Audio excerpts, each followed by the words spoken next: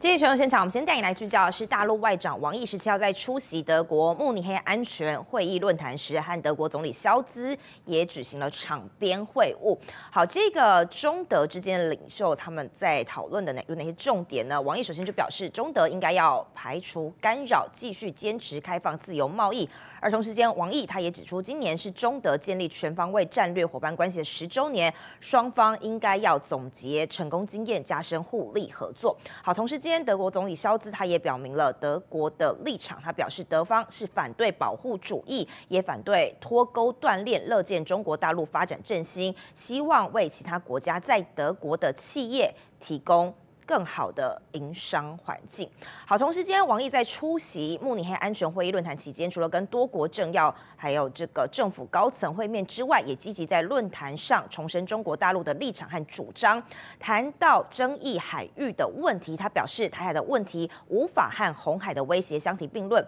另外提到南海的时候呢，他强调还是要以对话谈判来解决问题。但是话锋一转，他暗击美国，动辄炫耀武力。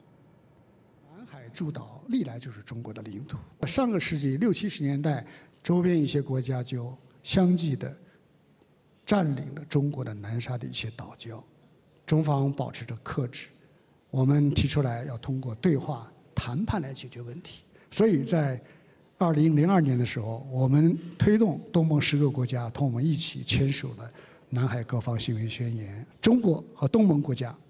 我们有能力、有智慧。我们来维护好南海的和平稳定，维护好南海的呃飞越和航行自由。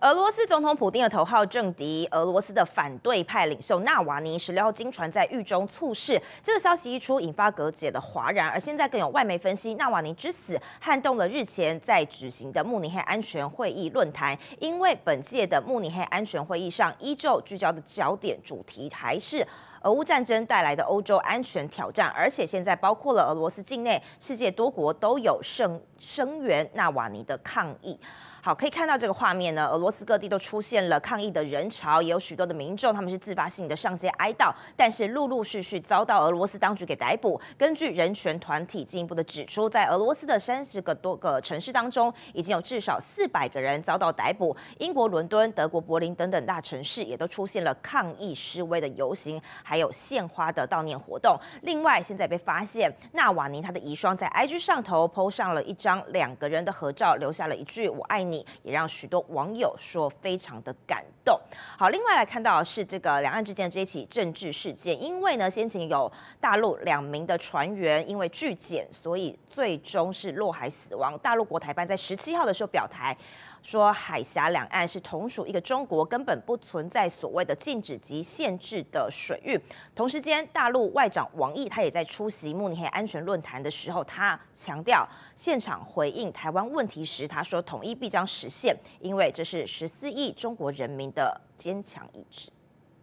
大陆一艘载有四人的快艇十四号越界闯入金门海域，遭我方海巡人员追缉时，因拒检蛇行导致翻覆，酿成二死。海委会主委管碧玲指出，这艘渔船因为进入禁止水域，海巡署依法行政。大陆国台办十七号深夜再度发出声明回呛。国台办发言人朱凤莲指出，两岸渔民自古以来在金厦海域传统渔场作业，根本不存在所谓的禁止及限制水域，并重申台湾方面粗暴驱离大陆渔船，导致两名渔民遇难恶性事件。引起大陆各界强烈愤慨，严重伤害两岸同胞感情，要求台湾尽快放船放人，大陆方面保留采取进一步措施的权利，一切后果由台方承担。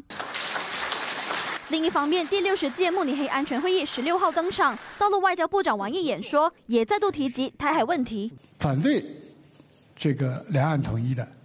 要搞独立的是谁？不是我们呢，而是目前在岛内执政的这个执这个党啊，叫做民进党。要想维护台海的和平稳定，就必须要坚决的反对台独，因为台独和台海的稳定是水火不容的。除了再次强调台独和台海稳定水火不容，王毅更警告西方，寻求与中国大陆脱钩将犯下历史性错误。反对脱钩断链现在已经成为国际共识。谁试图以去风险之名搞去中国化，谁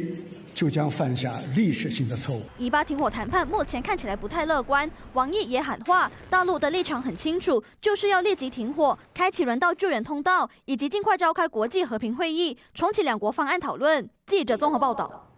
太阳星全效克菲尔益生菌，我吃了两三天，最明显的感觉是睡眠品质竟然变好了。睡得好，让我整个人工作更专注，心情也变得更稳定更好。因为太阳星全效克菲尔益生菌，才让我认识到克菲尔益生菌，它是由多支菌种的益生菌所组合而成，不仅能够维护消化道机能正常运作，还拥有多种有益健康的保健功能，相当强大。你知道吗？有台大教授专门研究它，称它是神仙的礼物。上千篇的国际研究证实，克菲尔益生菌不仅帮助肠道健康，肠道菌透过肠脑轴影响全身器官，所以维持肠道菌丛的平衡是解锁身体健康、精神健康的钥匙。对帮助睡眠、维持好情绪真的很有感。也因为这不是药，有季节敏感、代谢困扰。关心恶性细胞风险的好朋友，选择太阳星全效克菲尔益生菌，做好日常的保养，身体健康没负担。每日克菲尔，时刻美好，Good Feel Feel Good，请上快点购健康下单，输入推荐代码有额外的折扣。